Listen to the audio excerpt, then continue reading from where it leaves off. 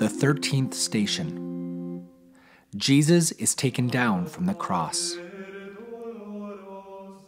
We adore thee, O Christ, and we bless thee, because by thy holy cross thou hast redeemed the world. After this, Joseph of Arimathea, secretly a disciple of Jesus for fear of the Jews, asked Pilate if he could remove the body of Jesus, and Pilate permitted it. So he came and took his body. Nicodemus, the one who had first come to him at night, also came bringing a mixture of myrrh and aloes, weighing about 100 pounds.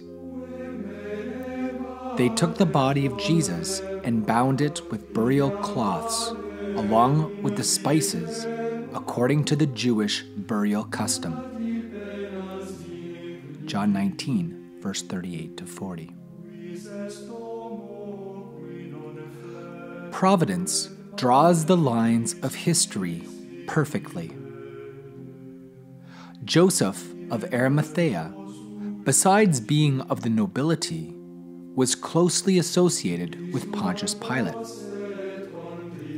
These factors provided the favorable circumstances for him to obtain the necessary authorization for Jesus to be buried, not as a common criminal, but rather as a person of importance.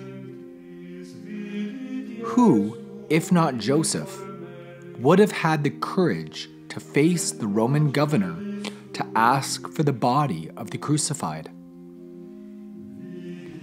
For this reason, St. John Chrysostom says of him Behold the courage of this man who risked his life, making himself the enemy of all in his affection for Jesus Christ.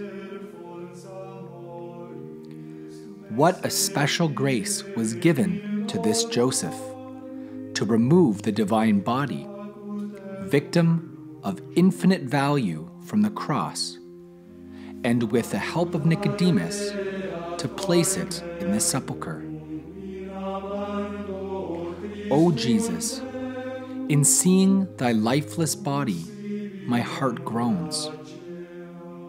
I behold the hands that ordered the seas and storms, expelled the money changers from the temple, and benefited all of Israel, now stilled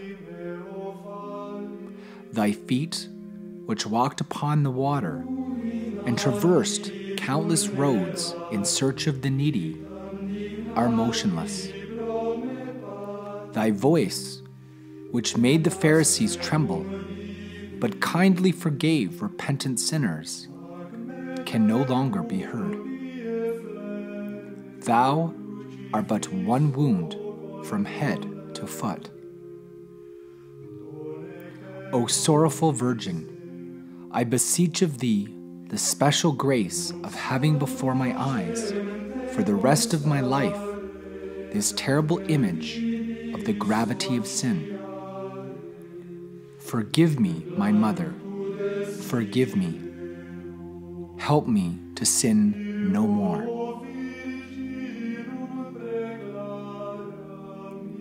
Our Father, who art in heaven, hallowed be thy name. Thy kingdom come, thy will be done on earth as it is in heaven. Give us this day our daily bread, and forgive us our trespasses, as we forgive those who trespass against us.